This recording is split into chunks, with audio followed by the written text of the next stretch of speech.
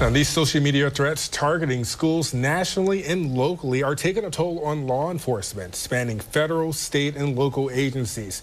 We talked to the Monroe County Sheriff's Office and local FBI on the impact the increase in school threats is having on their work.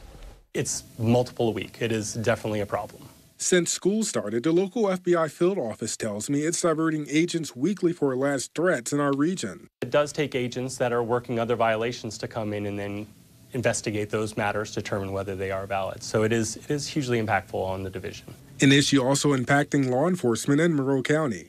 Ultimately, it draws away from our response time to anything else. If there's a car accident, you know, if there's uh, you know burglary or any kind of job going on like that, obviously, again, we're talking about kids here, so that's going to be the top priority.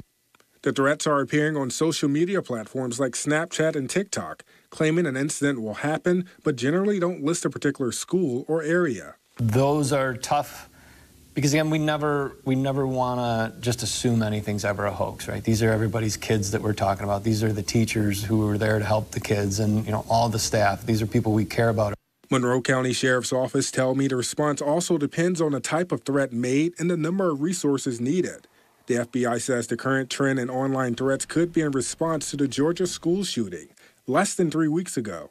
Anytime there's a mass shooting in a school that receives national attention, in the weeks following that, we always see a statistical increase in the number of these types of threats. Meanwhile, law enforcement is advising people not to share or like possible threats and have a serious conversation with your kids. We need you to talk with your kids so that they understand that these kind of threats, while it might seem funny amongst your friend group is something that's totally unacceptable.